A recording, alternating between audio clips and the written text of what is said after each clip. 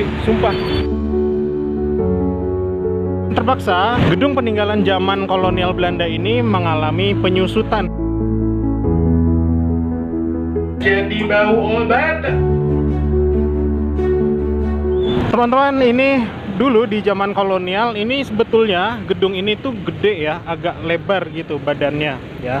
Tapi karena sudah ada pembangunan jalan di sisi kiri dan kanannya, jadi dengan terpaksa gedung peninggalan zaman kolonial Belanda ini mengalami penyusutan ya. Nih jadi ramping begini, jadi kurus gitu. Tapi tidak mengurangi nilai sejarah yang terkandung di dalamnya.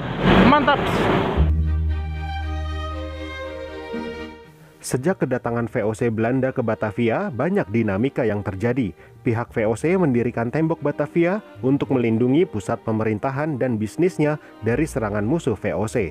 Ketika proses pembangunan tembok Batavia ini, pihak VOC memindahkan orang-orang Tionghoa ke luar kawasan tembok Batavia.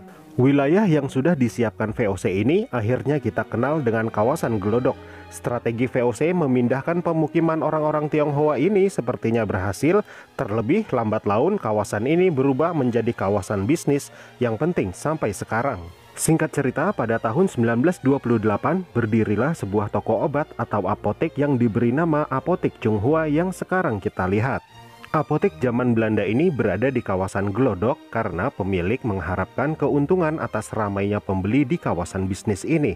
Hmm, strategi bisnis yang sangat efektif.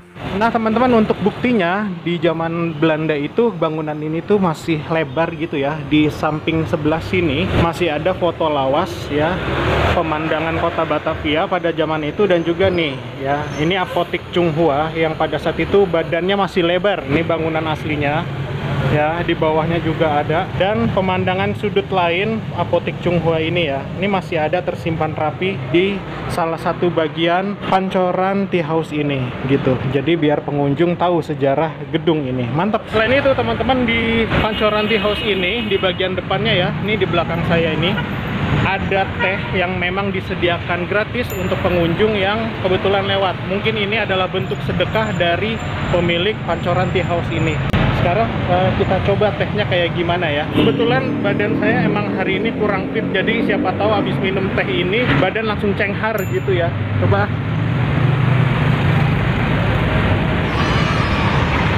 enak asli sumpah tehnya asli enak Gini maksudnya, teh gratis yang saya minum tadi itu merupakan sebuah tradisi yang bernama patekoan. Pa artinya delapan, sedangkan tekoan artinya teko.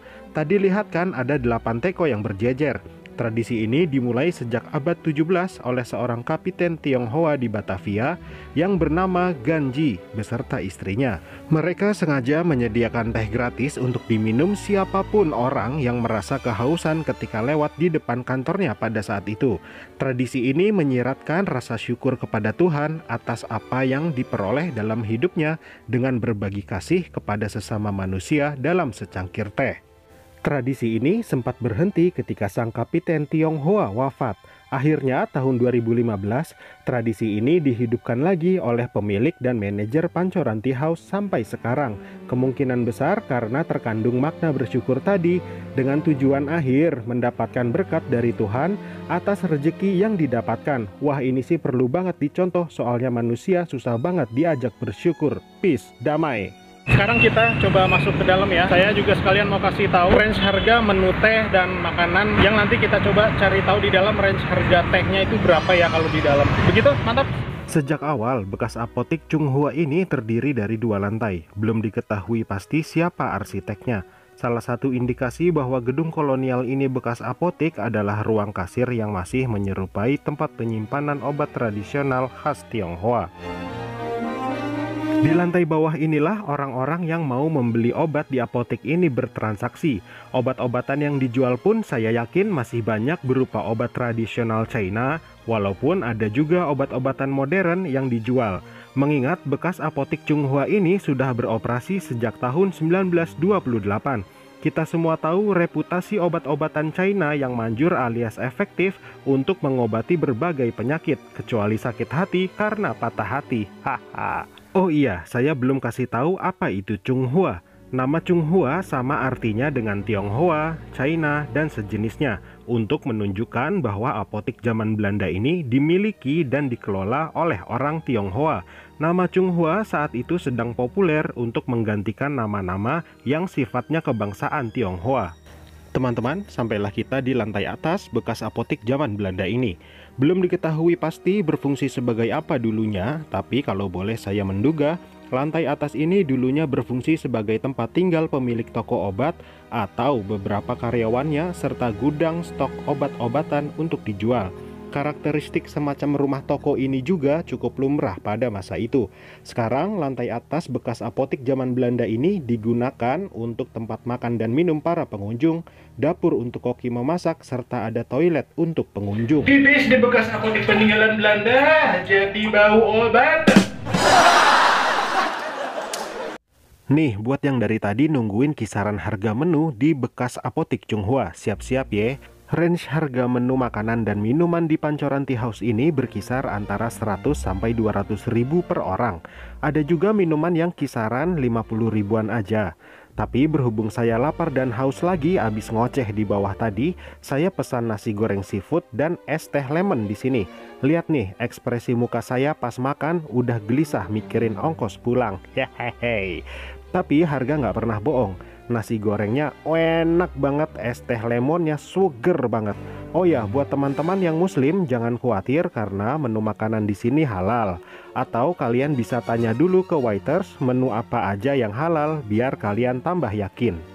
Kenapa ya restoran bekas apotik ini ada nama pancorannya? Jadi gini, zaman dulu ada sebuah pancuran air yang terdapat pada kawasan ini. Pancuran tersebut lambat laun disebut masyarakat sekitar dengan pancoran. Pancuran air tersebut ini mengeluarkan air serta menimbulkan bunyi grojok yang akhirnya disebut gelodok oleh orang Tionghoa di situ karena saat itu lidah mereka sulit menyebut kata grojok. Hayya.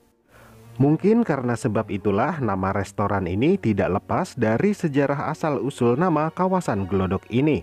Bekas apotik zaman Belanda ini mengajarkan pada kita semua tentang arti sebuah solidaritas dari filosofi minum teh bersama, semangat dalam hidup, bekerja cerdas, bersyukur, dan berbagi kasih kepada sesama manusia. Iya, saya tahu. Meskipun sulit pada prakteknya, jika ada niat, maka nilai pelajaran yang dipetik dari bekas apotik zaman Belanda yang tadi saya sebutkan perlahan pasti terlaksana juga. Nah, berarti teman-teman kalau dilihat dari foto lawasnya ya, berarti dulu pintu masuk utamanya ini yang ini nih, yang ada di sudut ini nih. Nah, tadi pas banget saya makannya itu di atas itu tuh. Nah, tuh pas banget di bawah pintu masuk utama. Teman-teman itu tadi perjalanan kita hari ini. Semoga bermanfaat. Yang belum subscribe silahkan subscribe aja langsung. Nyalain tanda loncengnya. Sampai ketemu lagi di video saya selanjutnya. Bye